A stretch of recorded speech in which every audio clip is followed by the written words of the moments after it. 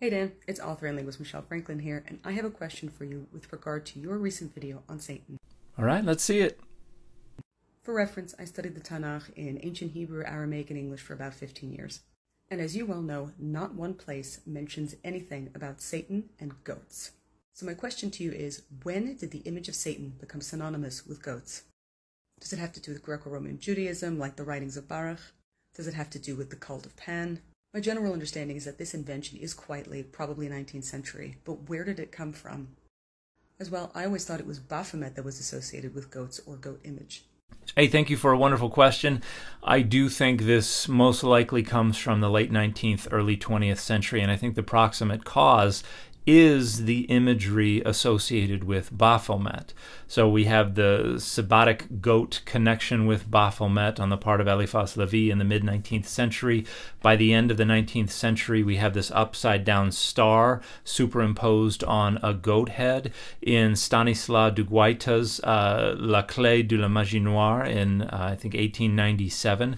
And you have two names that go around the goat's head, Samael and Lilith, and these are ancient Jewish figures. And Samael is connected with the head malevolent angel, uh, the destroyer or the tempter. And this is probably based on ancient Judaism's borrowing from the Enochic literature. And the New Testament also borrows from the Enochic literature this idea of a head malevolent angel who's identified in the New Testament as Satan. But in the Enochic and other Greco Roman period Jewish literature, this figure has a bunch of different names. They are Shemi Hazah, Azael, Azazel, uh, Mastema, uh, the angel of darkness, Beliar. You have a bunch of different names, and they all get consolidated in the figure of Satan in the New Testament.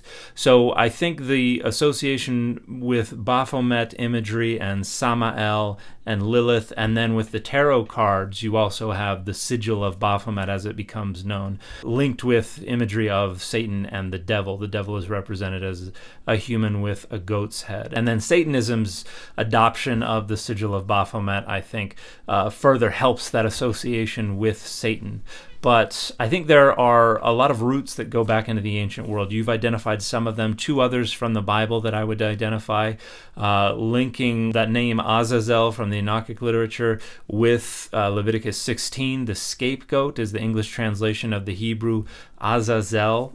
Uh, and this is that tradition from the Day of Atonement where the sins of the people are placed on the goat who's led out into the wilderness. And the Hebrew says for Azazel. And this probably anciently had to do with some kind of wilderness dwelling spirit uh, or deity of some kind. So there's that connection. And then we also have the connection of goats with evil and wickedness from the Gospel of Matthew, where uh, the goats and the sheep have to be separated out, and the sheep go on to eternal reward, and the goats do not. As the great poet once said, sheep go to heaven goats go to hell. So I think we've got some things scattered around history that kind of facilitated the identification of evil and the devil with the goat symbol that had become associated with Baphomet. Uh, and probably by the mid 20th century, this symbolism is pretty secure in the public consciousness. But yeah, I think Baphomet is the original source of that association. And sorry, I don't have a cool fit. I just have some weird nerd stuff. Well, I am quite envious of your weird nerd stuff, but my fit for this video has been Thunder Thunder, Thunder Thunder Cats, Ho.